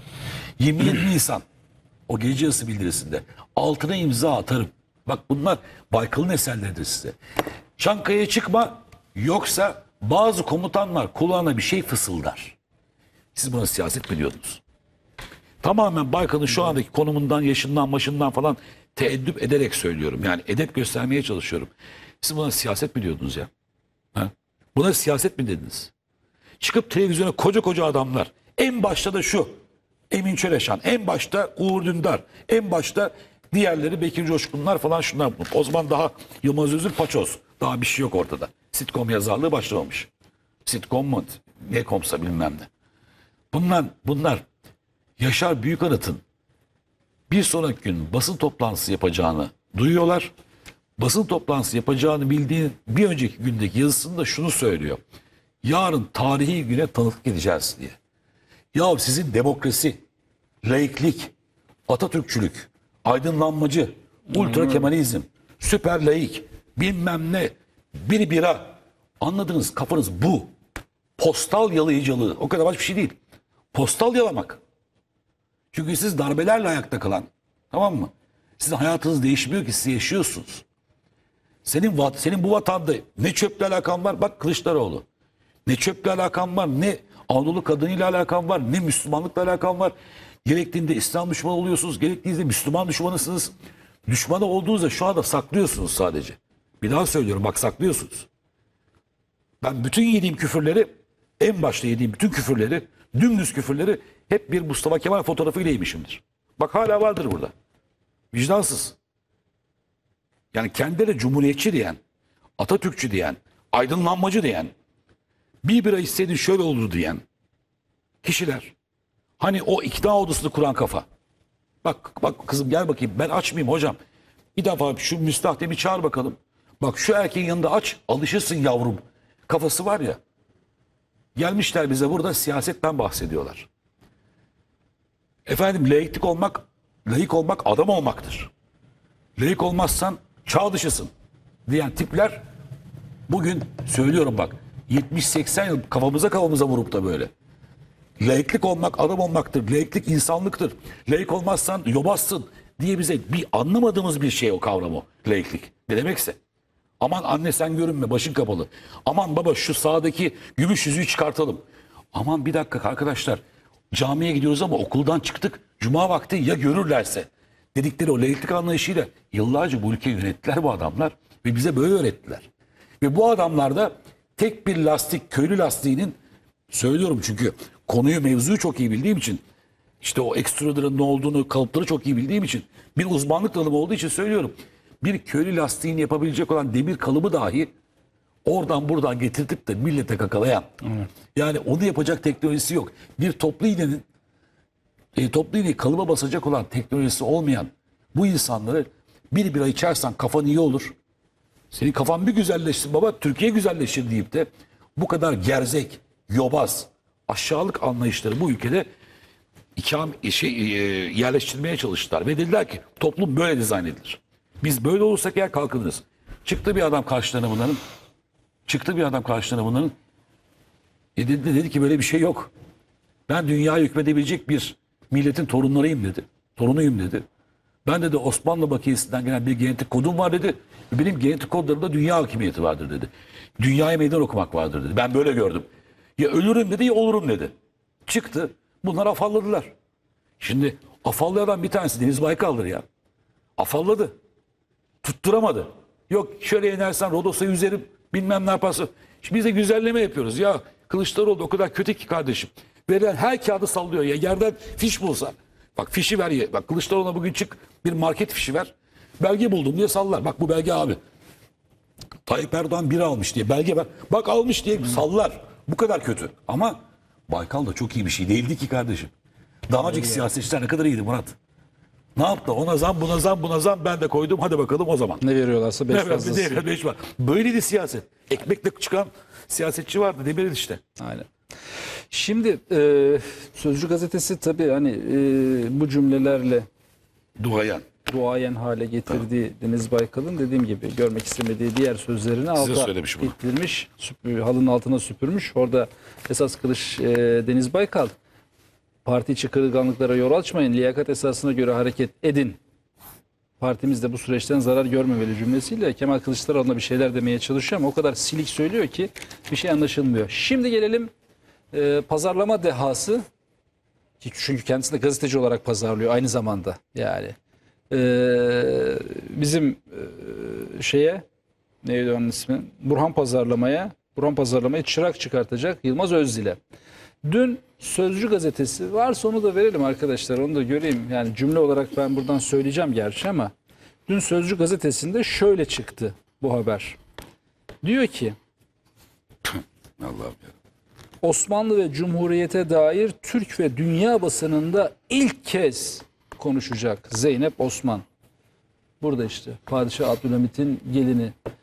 Tarihi açıklamalar. Ondan sonra Özdil'e konuşmuş Osmanlı ve Cumhuriyete dair Türk ve dünya basınında ilk kez diye anonslar yapıldı dün. Dediğim gibi hakikaten e, Burhan pazarlamayı çırak çıkartacak pazarlama dehası Yılmaz Özdil'in e, sözleriyle almış. Sözcü gazetesi de yine gol yemiş Yılmaz Özdil sayesinde. Biliyorsun bu e, bir çocuk kitabını 2500 liraya pazarlayan adamdır Yılmaz Özdil. Tabii leblebi, Tamam leblebi havada Tabii, yakalardı. aynen öyle. Şimdi dönüp bakıyorsun. Ha, tamam geldi. diyorsun. Yani zaten biliyorsun. Niye çünkü yalan? Çünkü 22 Mart 2017 tarihinde Aslı Üstünkaya ve Ozan Sarıkaya imzalı Yeni Birlik gazetesinde sadece Zeynep Osman, Prenses Zeynep Osman, Abdülhamit'in gelini Zeynep Osman değil, hanedan üyelerinden birkaç tanesiyle de görüşmeler yapılmış. Mesela Osmanlı'yı konuşmuş orada da, halifeliği konuşmuş, Atatürk'ü konuşmuş, Cumhuriyet dönemini konuşmuş. Sadece bununla yetinmemiş. Ondan sonra günümüzdeki e, durumları da değerlendirmiş aile olarak. Bunları söylemiş zaten. Yani hani bunlarla ilgili bir şey yok ama dediğim gibi e, pazarlamacı, buradaki pazarlamacı kelimesini sadece Yılmaz Özdil için yalancı yerine kullanıyorum. Yoksa hani pazarlamacı mazarlamacı falan filan hani e, Burhan pazarlamayı çırak çıkartıyor derken o işin ironik kısmı Tabii. e, yalan üstadı. Tamam mı? Yani böyle böyle bir şey yok. Bak bu da işte Yeni Birlik gazetesinde çıkan haber. Aslı Üstünkaya ile Ozan Sarıkaya'nın 22 Mart 2017 tarihli Yeni Birlik gazetesindeki haberi. Prenses Osman da burada, Zeynep Osman da burada. Peki ne diyor? Baştan aşağı okuyorsun. Şurada almış Yılmaz Özdil. Tamam bu kadar. Yoğun bir tam sayfa. Tamam mı yani? Hani Oku, yazmış koca sayfayı doldurmuş. Diyorsun ki ya Osmanlı'ya dair, Cumhuriyet'e dair ne söylüyor? Bir bakalım falan diyorsun. Atatürk'ü inkar edenler Türk'üm dememeli, Osmanlıyım dememeli demiş mesela. Abdülhamit'in gelini, hanedanın son reisinin eşi. Şimdi bunu tabii neye göre söylüyorlar? Daha önce bunun karşısına koydukları e, yine e, hanedan torunlarından bir ismin açıklamasını sorarak giriyor muhabbete. Onlar diyor Şam'daydı biz işte Paris'teydik vesaire vesaireyle başlayıp yürüyor röportaj ama baştan sona Yılmaz Özdil'in yönlendirmesi ve açıklamasıyla yapılan bir röportaj sonuna kadar hani okuma şansı olmadı tabii dediğim gibi bu kadar tezviratı tek bir günde e, hazmedebilmek kolay olmadığı için parça parça okuyarak görüyoruz biz de ama e, en nihayetinde şunu söylüyor. Ee, Osmanlı gelini olmakla iftihar ediyorum. Padişah Abdülhamit'in gelini olmakla iftihar ediyorum. Hanedanın son reisi Osman Ertuğrul'un eşi olmakla iftihar ediyorum ama ben Atatürk çocuğuyum. Atatürk çocuğu olmakla iftihar ediyorum. Mustafa Kemal Atatürk ve arkadaşlarından Allah razı olsun demiş. Yani şunu almak için koca sayfayı doldurmuş etmiş. İyi de yani Osmanlı hanedanı Atatürk'e küfür ki hanedan da değil biliyorsun gelin. Diyor canım, bu. gelin canım tabii. Ondan Anlatacağım sonra- ben şu an. Birkaç şey var Eyvallah. emin oldum da. Eyvallah. Şimdi bütün bunları söylediğin zaman ortada hanedan Atatürk'e küfretmeli, Mustafa Kemal'i şeytanlaştırmalı, onun yerin dibine sokup padişahları yükseğe çıkartmalı diye bir kanun kural yok ki bu ülkede Atatürk'e Osmanlı hanedanındaki isimler de hakaret etmiyorlar, laf söylemiyorlar. Ha söylenen söz İsmet Paşa ile ilgili bir sözdü. Onlar gücüne gitmiş anladığım kadarıyla. Evet, doğrudur. İsmet Paşa'ya söylenen sözü alıp Atatürk ne kadar mükemmel bir insandığı geline söyletiyorlar. Tabii, Yılmaz. Özel'in buradaki yalancılığı ve pazarlamacılığı buradan Çok, çıkıyor ortaya. Yazık. çok, çok yazık Sözcü yani. gazetesinde böyle Valla paça Murat var ya, benim- en benim- büyük pay burada Yılmaz Özel'in başka bir şey değil. Sen güzel güzel tabii anlatıyorsun. Ee, yani gazeteciliğin konumun gereği güzel güzel ifadelerle. Mümkün Şimdi ben kadar. dalacağım diyor. Yok hayır mümkün olduğu kadar tabii mümkün olduğu kadar anlaşılabilecek bir dilde. Yani insanlara Yılmaz Özdil'den bahsediyoruz çünkü ama benim midem bulanıyor. Bu Yılmaz Özdil'in bu bu hareketleri 2500'e falan geçtik onları artık. Yani ona afiyet şeker olsun. Vallahi buradan da sesleniyorum. Böyle baktıkça da böyle hakikaten göbeğimi kaşıyorum yani. Oh diyorum ya. Müstahak. Hani diyor diyor ya ölmesi müstahak şu müstahak taktılar ya her şey müstahak. Aynen. Allah müstahak 2500 değil 15 bin lira da versinler sana. Sen de onları kemale afiyetle çatır çatır İzmir'de boyoz mu yiyeceksin? Çiğdem mi çitleyeceksin ye. Bir şey söyleyeceğim bak. Şimdi buraya çıkmış ben tanımaz etmeyiz. Zeynep Osman işte geliniymiş. Anladım. İşte bu zaman işte Ertuğrul Osman oğlu vefat ettiğinde hani Türkiye'ye gelmiş. Ben birazcık baktım emin olmak için araştırdım. Efendim e, birkaç ay Türkiye'de falan kaldık diyor. Galiba New York'taymış o zaman. New York'ta yazıyor, yaşıyor falan. Ya Allah rızası için bir adam. Yıllar boyunca Yılmaz Özdil kafası hatta en son televizyonda çok ahlaksızca hem de. Asla affedemiyorum mesela ya. Ben insan olarak affedemiyorum. Bak hatırlatıyorlar bunlar. Bak hiç gerek yokken böyle bir kaşıntı bir adam olmaz yani. Ben şimdi buna insanları tahrik edip de Yılmaz Özdağ yine vurun bakalım giydirin küfredin falan demiyorum bak. Ama sen kaşıntı bir adam olduğun için ultra kaşıntı zevk duyuyor bu işlerden abi. Zevk duymaz mı? Sen de duymaz mısın? Leblebiyi havaya atıyordu. Ben araba giderken tekerlekleri dönüyordu diye yazıp da 2500 çakıyorsan bu mutluluğu yaşarsın baba zevk duyar adam. Soma'daki maden işleri öldüğünde AK Parti oy verdiler. Müstahaktır bunlar ölmelerine. Diye adamdan bahsediyoruz. Adam diye şey yapmayalım. Adamlığı kirletmeyelim. Bu kişiden bahsediyoruz. Ve bütün yalanlarıyla bak bir daha söylüyorum. iddia ediyorum. Yazdığı yazıların içerisinde vermiş olduğu bilgiler, tarihler o kadar çok fazla tezvirat. O kadar çok yalan var ki. Bunu okuyup da yılayıp yutan insanlar da var. Yutun size de afiyet olsun. 2500'e leblebiye fotoğraf şey veren adam bunu yutar da. Hiç kusura bakmasınlar abi. Hakikaten inanarak bunu okuyorsan. Ya yıllar boyunca bak bir daha söylüyorum. Bu adam Ertuğrul Özkök'ün en büyük günahıdır. Onu da söyleyelim. Ertuğrul Özkök'ün çakması görme, hayatta görmediğim kadar bir sitcom yazarı. Ya sitcom git derler adama. Yani ne- neymiş efendim çok kahkahalı bilmem ne falan diye yazıyorsun. Ki Bekir Coşkun'un çakmasıdır aslında. Onu da söyleyeyim yani. Bu işin doğayı aslında Bekir Coşkun'dur. O arada hakkını teslim edelim. O, o yazı kayıtları ona aittir. Bu onun çakması ve içine palavra konmuş hali. Ya televizyona çıktın. Müjdat Gezen'le beraber. Gene Halk TV'de. Hepsinin de çıbanbaşı e, Uğur Dündar'dır. Hepsinin. Hala bu ülkenin en büyük günahı Uğur Dündar gibi adamlara 28 Şubat hesabı sorulmamasıdır. Ya geçti gitti bu. Hayır efendim. O kadar insan acı çekmiş. Siz tek bir insan hakkından bahsediyorsunuz. On binlerce, yüz binlerce insanı da bırak, gençleri de bırak. Müslümanlara kan kusturdular bunlar. Kan. Şaka falan değil bu. Hakikaten kan kusturdular ya. Ha demin dediklerim oldu. Ama anne sen uzakta dur. Başın kapalı. Aman yüzümüzü çıkartalım. Namazı kılmayalım. Ne yapalım? Kılarsak işte abdest alırsak bize iş vermezler. Dedikleri başbakana küfredilen, P denen bilmem ne. Uğur Dündar'dır bak. Uğur Dündar bu hesabı ödemedi hala. Ben buna ben buna yanarım. Uğur Dündar mı? Halk TV çıkartıyorsun. Diyor ki Son zamanlarda bir Sultan Hanım çıktı. Hatırlıyor musun o lafı? Sultan bilmem ne çıktı. Adayı istiyormuş. Adayı verirsin veremezsin muhabbetinden. Geçenlerde davası vardı. Hiç tanımam etme. Hayatım boyunca bir araya gelmedim. Bak sadece dışarıdan bakıyorum. O kişinin de Nihan Osmanoğlu olması veyahut herhangi bir şey olması önemli değil. Herhangi bir dünya vatandaşı koyalım, koyalım oraya. Bir kadın ama tabii Anadolu kadın olması, bir Müslüman olması apayrı bir şey ortaya. Bir hassasiyet var çünkü. Ne oldu? Ya o kadın da falan bir şey söylüyor. Bak söyleyemiyorum. Bak gene teeddüp ediyoruz gene. Diyor ki güzel kadın falan bir şey söylüyor. Ne o adayı veresin mi geldi diyor. Değil de diyor cevap veriyor ve bu davalık bir konuydu. Müjdat Aynen öyle. davası. Ahlaksızlığın, pespailin dibi. Bence alçaklığın da dibidir bu. Televizyonda bir kadının namusuyla ilgili bak bunu konuştular bu adamlar ya. Hey Türkiye hey bizde nasıl bir siyasi şey. Bu yaşandı ya. Bunun davası 2-3 hafta önce vardı. Avukatını da tanıyorum. Daha önce televizyon programlarında bir araya gelmiştik. Ya bir kadına kadın da işte bak ben güzeldi beğendim onu ya. Ne oldu adayı veresin mi geldi? Sana geleceğiz biz Osmanlı fesiyle. Al kim o? Zeynep Osman. New Yorklu Zeynep Hanım. O Osmanlı fesiyle diye fotoğraf çektirip bir hareket çekmişti ya. Şey e, Müjdat Gezen. Mü- Müjdat Gezen. Hayır şey bizzat e, Yılmaz Özdil. ne o? Biz sana bir tane geleceğiz önümüzdeki hafta bir Osmanlı fesi alacağız. Fes satıyormuş bu diye Osmanoğlu. Aa, o kız da güzelmiş falan filan deyip de bak çok özür dilerim yani teeddüp ederek söylüyorum. Mahkeme konusu olduğu için bunu ailesi olan evli barklı insan bunlar pes bak biliyorum ben sana ne, niye kızmıştık biz o şeye önüne yatma meselesinden Kılıçdaroğlu'na dedik ki Anadolu'da bir ahlak bir kültür vardır bunlar kaldırmaz bazı şeyleri diye. Bunlar bu kadar pespaye al şimdi sen de o fesi tamam mı sabah kalkınca sözcü okuyan o gelin var ya New Yorklu gelin New York Her Bir sabah sözcü okuyormuş. Sabah öyle al sana fesi. Bak fişini çekmiş. sana bir tane fes versin. Ben kadının kadının insanların ahlakıyla bilmem nesiyle namusuyla hayatta uğraşmam. Ama sen o insanlara kadınımıza fesi al da bilmem ne yap. Çok mu beğen adayını vereceksin bilmem ne gibi konuşan Uğur Dündar'ın programıdır bu hep. Başıma bak Uğur Dündar vardır. Yani Müslümana insana Anadolu'ya küfretmek için Uğur Dündar şarttır. Hak TV şarttır. Benim bütün kavgam da bu.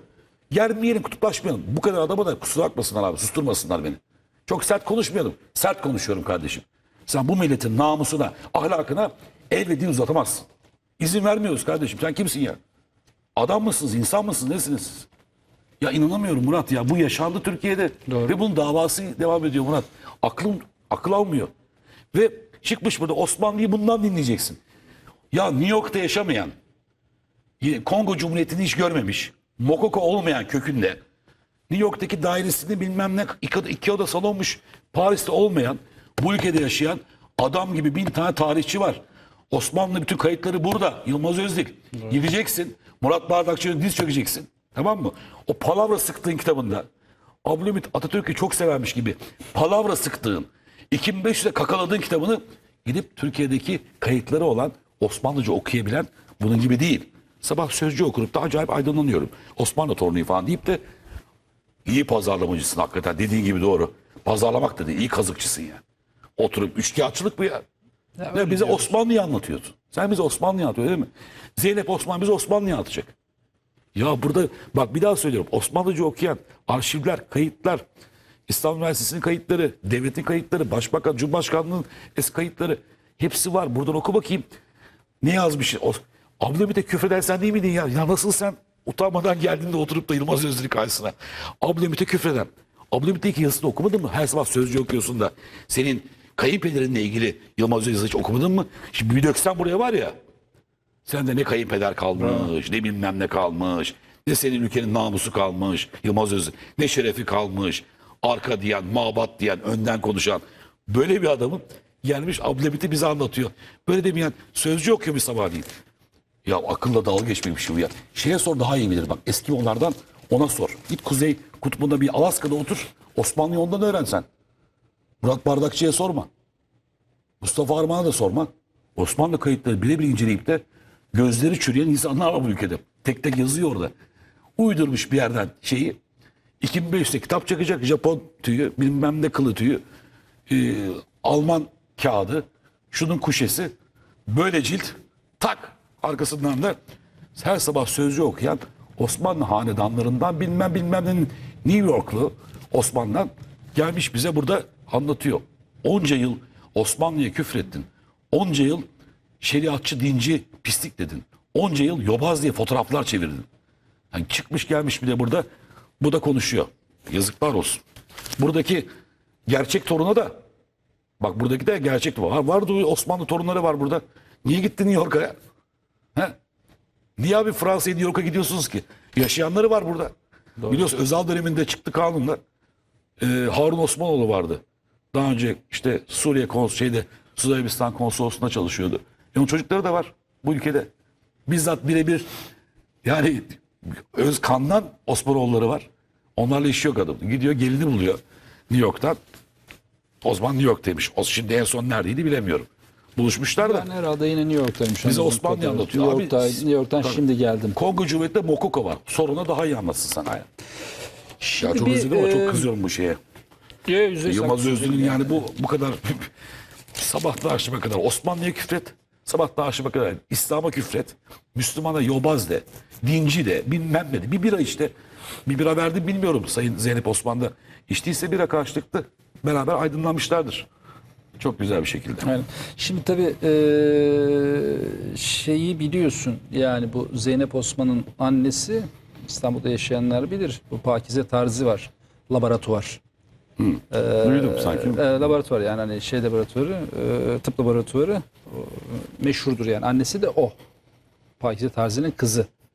Zeynep Osman. Onu şuradan bağlayarak söyleyeceğim. Cümlesi var da ben bu cümleyi de hani e, hayret ediyorum sürekli. Ben hekimsem diyor, hastane sahibiysem, özgürsem bunu Atatürk'e borçluyum dermiş annesi Zeynep Osman'a. Başka da bir şey söylemiyorum. Devam ediyorum. Yılmaz Şimdi e, Sabah gazetesinde bir haber var. E, daha doğrusu Şeref Oğuz'un bir köşe yazısı var. Çok hoşuma gitti. Biraz hani e, hani iğne çuvaldız hesabı. İğneyi kendine batıran bir yazı olmuş. Şeref Oğuz Bursa'da hakikaten güzel yazılar yazıyor. Çok hoşuma gidiyor.